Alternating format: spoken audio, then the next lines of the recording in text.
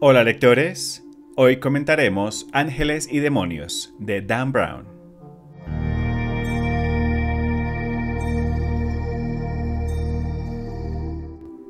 Robert Langdon, el renombrado profesor de simbología de la Universidad de Harvard, es convocado a un laboratorio de alta seguridad en Suiza para analizar un símbolo grabado con fuego en el pecho de un científico asesinado.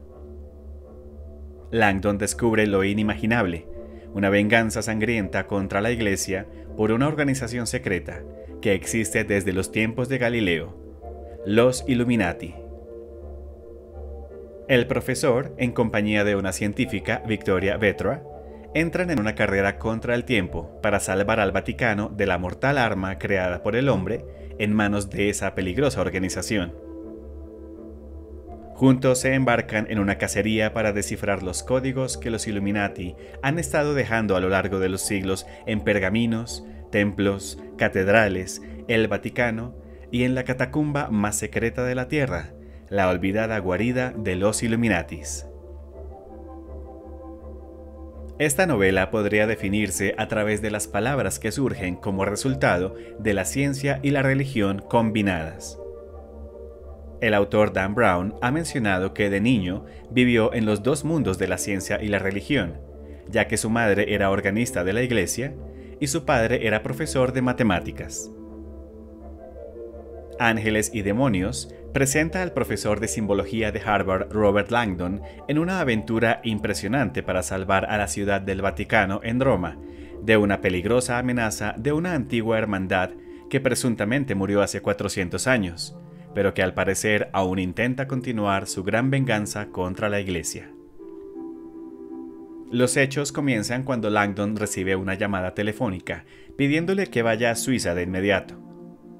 Tras negarse, se le envía una fotografía de un físico muerto, con su pecho marcado con un ambigrama de la palabra Illuminati.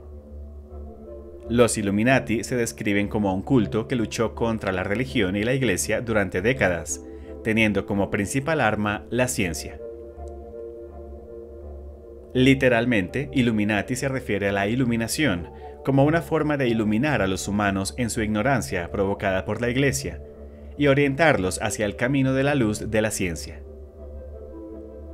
A medida que los eventos se desarrollan de una manera emocionante e inesperada, Robert Langdon se entera de la causa de la muerte del hombre, y se encuentra en una carrera contra el tiempo para salvar al Vaticano de una tecnología totalmente nueva iniciada por el difunto científico.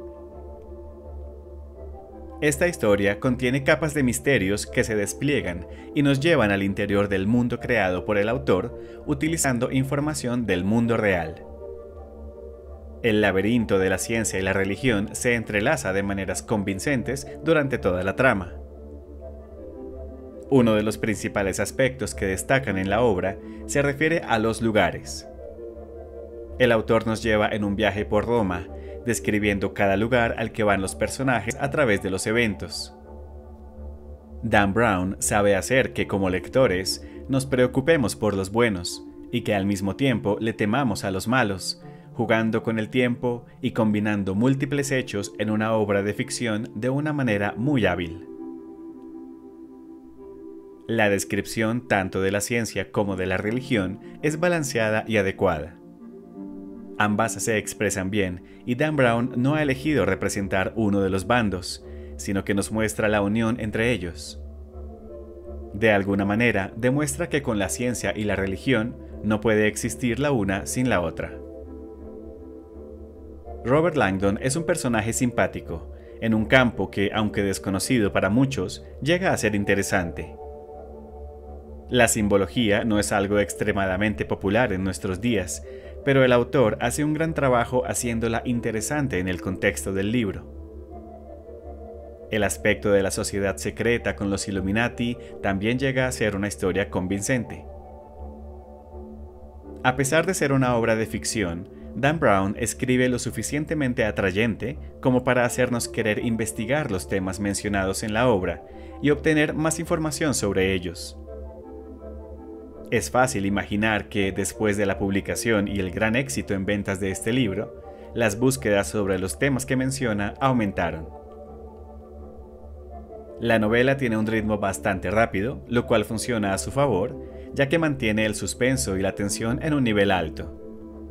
Además, el autor combina la verdad con la ficción para hacer creíble la trama, lo que con el ritmo acelerado ayuda a mantener nuestro interés. Con Ángeles y Demonios, Dan Brown nos presenta una sólida introducción a la serie y al personaje de Robert Langdon.